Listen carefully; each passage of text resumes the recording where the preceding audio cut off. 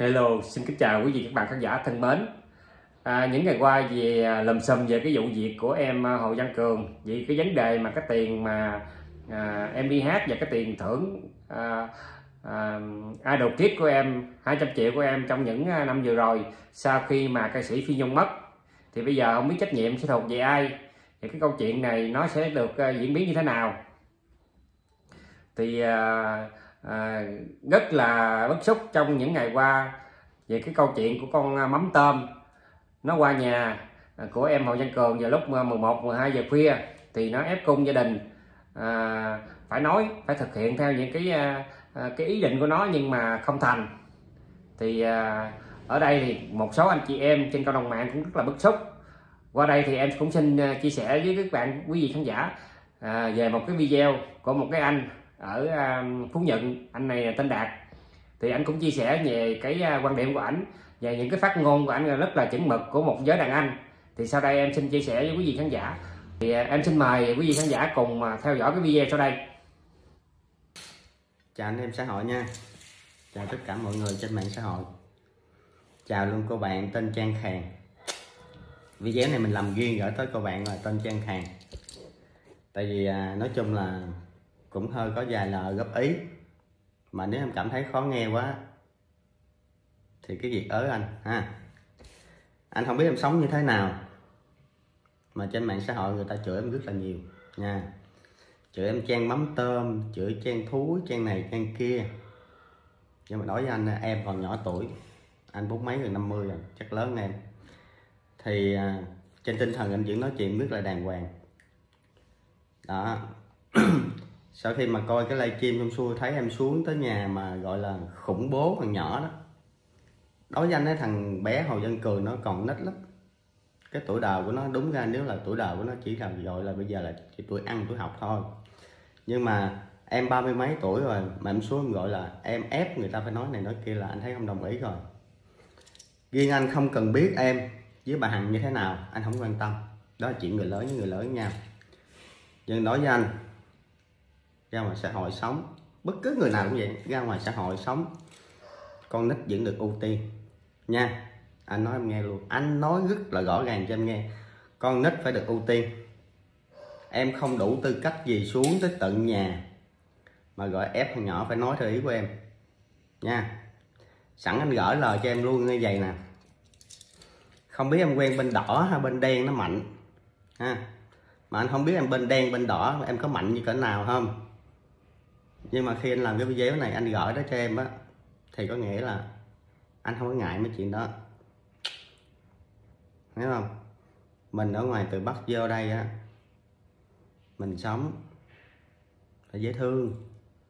Đúng không? Anh em một nhà. Đúng không? Mang tiếng mà em gọi là mang tiếng em trong cái giới showbiz.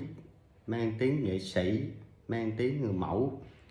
Thì mình phải sống chuẩn chạc nha em chỉnh lên chút xíu. Cái đừng có cái mỏ mà bô bô bô bô nhiều quá. Nó không có hay. Gái đứa là mình phải thì mị nết na, đúng không? Miệng thì lúc nào cũng ngồi trước phật, nam mô, kêu gọi quyên góp. Ha. Nhưng mà anh thấy em chửi nhiều lắm, chửi nhiều người lắm. Chửi chưa đúng người với chửi bậy cái là mỏ nâu luôn. Cho nên anh chỉ khuyên em là đừng nên chửi. Mình phải đàng hoàng, phải thật là đàng hoàng. Thì người ta mới kính trọng, nha. Hồ Văn Cường. Nó là dân quê. Một ngàn đối với nó cũng lớn chứ đừng nói chỉ 200 triệu. Cái chuyện của nó như với bà Hằng như thế nào anh cũng không cần quan tâm. Và cái chuyện của em với bà Hằng như anh cũng không cần quan tâm. Nhưng mà anh không thích cái dạng em nửa đêm em xuống nhà người ta em khủng bố. Không biết em mạnh như cỡ nào không?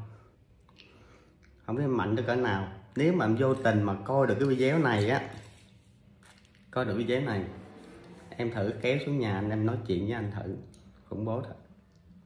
Còn anh em xã hội nào á mà bên bên bên em á thì đối với anh á nếu mà biết đi chơi rồi đó người ta cũng không có bên bậy được đâu. Ngay cả bên đỏ với bên đen cũng không ai bên bậy một đứa làm bậy. Nha.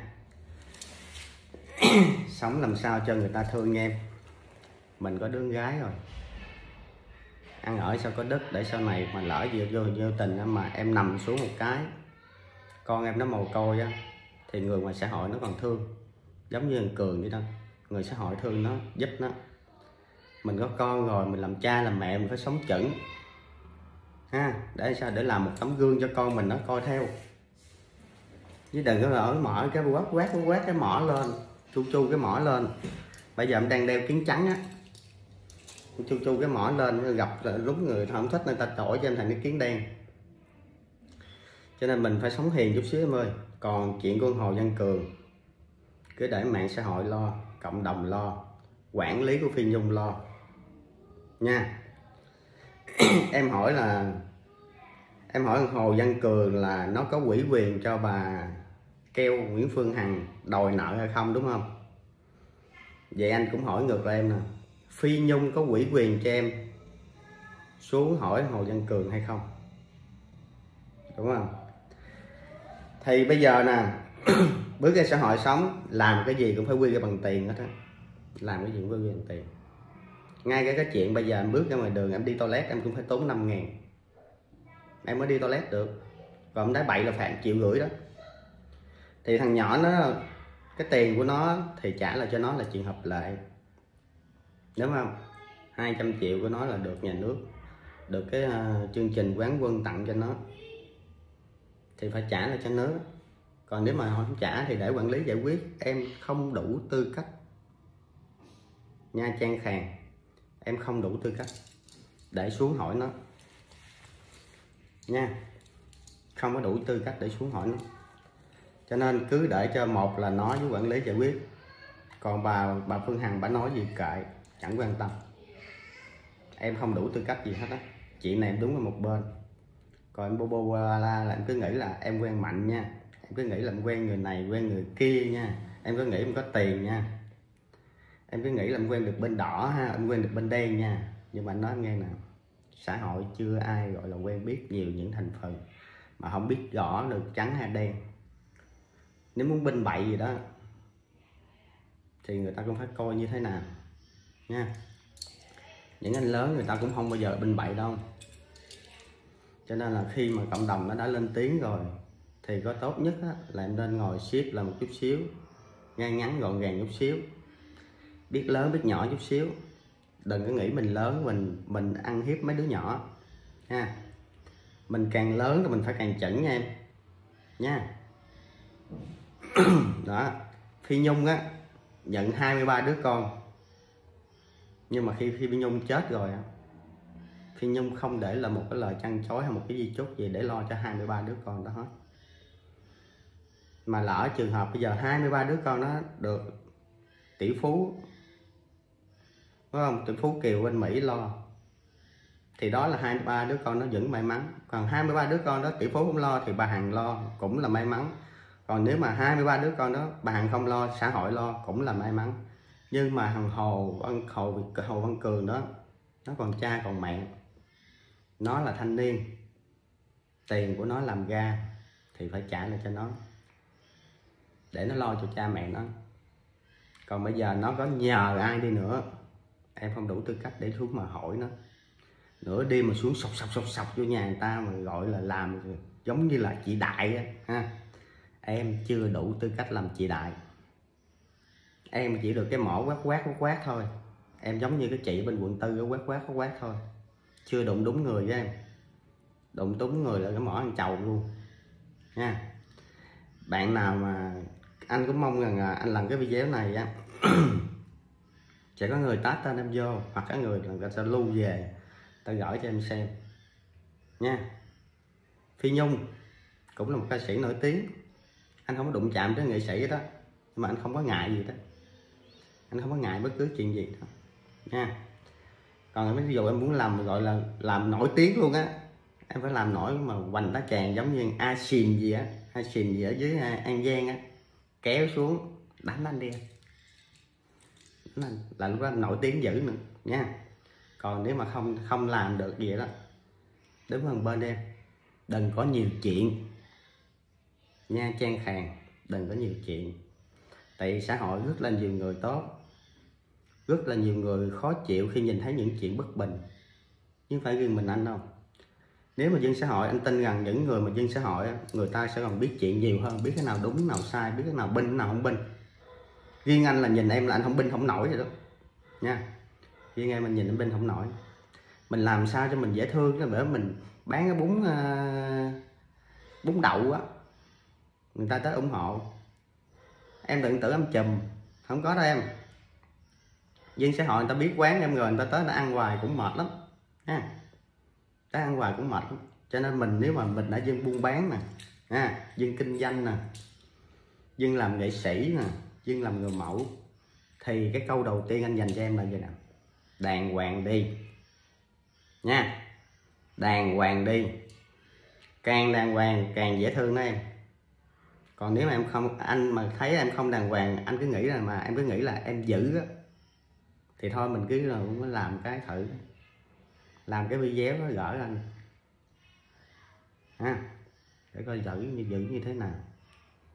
Là anh cũng coi em bên đỏ hay bên đen em giữ như thế nào. Bên đen chắc chắn là không có bên em đâu. Tại vì tất cả, chỉ nói một điều là tất cả trong xã hội này, con nít phải được ưu tiên. Thằng hồ văn cường là vẫn là đứa con nít nó tứ cố vô thần lên đây lạ nước lạ cái. Làm bao nhiêu năm chờ không có tiền. Ba phải làm bảo vệ, mẹ phải làm ô xin. Mang tiếng con nuôi như thế cũng không ai ham đâu. Bây giờ ngay cái xe còn không có đi nữa. Em không thương nó thì thôi, tại sao gọi là em gọi là làm khó nó làm chi với em? Giống như quản lý vậy. Quản lý hôm nay anh cũng đọc được bài của quản lý quản lý nói sẽ tự động giải quyết. Thì thôi, cứ để cho quản lý của phiên nhung giải quyết. Đúng không? Cái đó rất là, gọi là tình người, cái danh dự của người ta nữa. Người ta sẽ tự động, người ta giải quyết trong im đẹp đẹp. Chứ phải gình gình gình gình lên đi, em đâu ùng ùng ùng ùng lên.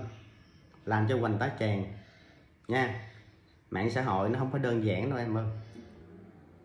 Nó không phải giống như em mà gọi là bolo bola trong cái miệng rồi em trốn trong nhà. Nha. Riêng nhâm hoàng khang nó hẹn em ra, không dám tới chứ. Còn trên xã hội thì có hẹn cái là người ta tới luôn anh chứ không phải là chơi gình gan mà không phải là lên mà tới mà phát livestream đâu. Không hẹn, không không không có hẹn giờ đâu.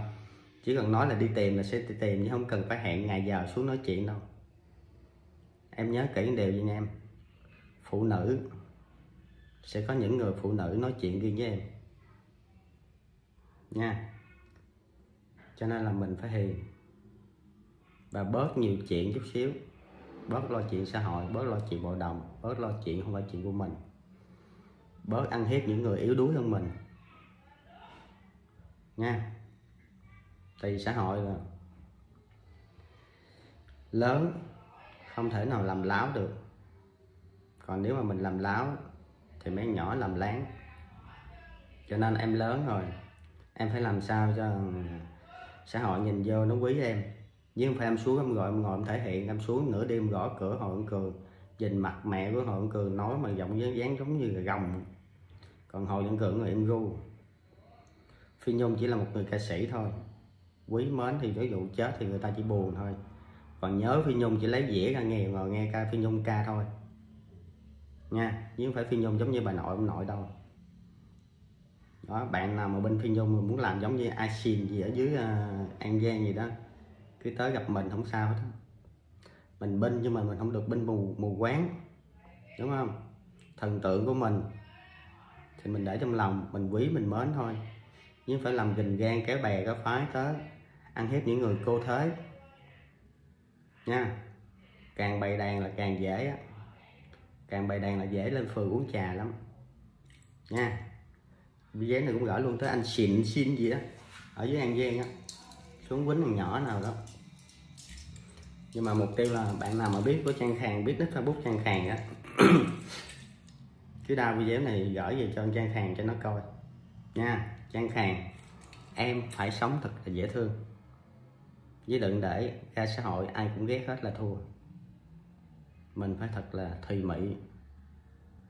Phải thật là sao là có chất, nhưng phải có cái miệng quát quát. Đừng có nghĩ là lên mạng nói năm ba câu, chửi năm ba câu gọi là dữ. Hay là thấy lên phường rồi phường mời lên uống trà em phạt hành tránh gọi là mình dữ, không có đâu em nhiều người dữ em nhiều lắm, nhưng mà người ta không thèm nói. Nha, nhiều người giữ lắm, người ta không thèm nói. Có điều khi người ta nói là người ta đã có chuyện rồi. Cho nên là anh chỉ góp ý vậy nè. Để chuyện hồ văn cường với quản lý nó lo. Chuyện của nó để gia đình nó lo. Em không đủ tư cách tới mà gọi là ép nó phải nói theo ý của em như vậy như vậy. Nha. Còn bà hàng bà nói gì kệ bà, anh cũng chẳng quan biết gì bà đó còn nếu mà khó quá thì lên qua pháp lực. Còn cần quá thì cứ là inbox riêng hẹn ngoài uống cà phê. Nếu mà dân xã hội nhau thì inbox riêng hẹn ngoài uống cà phê. Nhưng mà dân xã hội người ta chỉ mấy người mà trẻ trẻ người ta mới háo thắng người ta làm đùng làm nảy không tâm suy nghĩ. Còn lớn lớn như anh á làm cái gì chắc cái đó. Cỡ tuổi như anh làm cái gì là phải ra ra, ra rõ ràng cái đó. Chứ không phải làm đùng đùng đùng đùng ồn ào quay phim lên facebook của đây nọ không có. Nha cái này là anh lớn, anh gỡ gắm em thôi đó. Sống sao cho người ta thương nha em. Mình có con gái rồi, mình làm cha làm mẹ rồi. Mình cũng thương con mình vậy.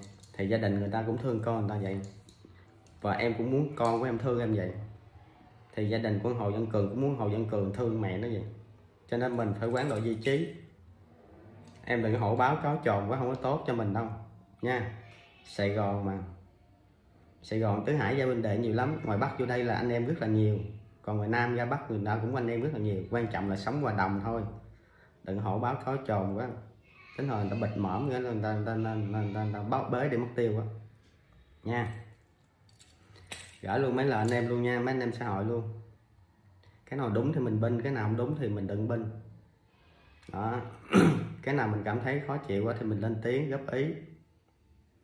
Nha chứ đừng có làm ồn ồn, ào ào, ầm ầm giống như anh kia lên đăng lên youtube rồi này nọ, không có được. Làm cái nào gọn thôi. Nha. Nha trang hàng anh vẫn kêu là trang hàng á, đúng cái biệt danh của trong giới xô chậu của em á. Với anh không kêu em là trang bấm tôm hay trang bấm thúi đâu. Tại vì anh lớn mà. Mình phải nói chuyện, phải đàng hoàng với em út của mình. Em còn nhỏ tuổi lắm mà có con, có cái, mình gái, mình còn rất là nhỏ. Mình phải dễ thương, nha. Cho nên là đừng có xí vô chuyện của con của phi nhung phi nhung chết rồi. Thì cái hậu á, để cho quản lý phi nhung lo, hoặc là tự động cái hậu để cho cái con cái phi nhung lo. Mình là chỉ ngồi đứng ngoài hóng chuyện thôi. Đừng ý kiến cái cò vô chuyện của người ta. Nhất là mình lớn, đừng có để mà dồn mình, đừng đứa con nít nó vô đường cùng mình lớn rồi. Đừng có dồn mấy đứa thứ nhất vô đường cồn nha.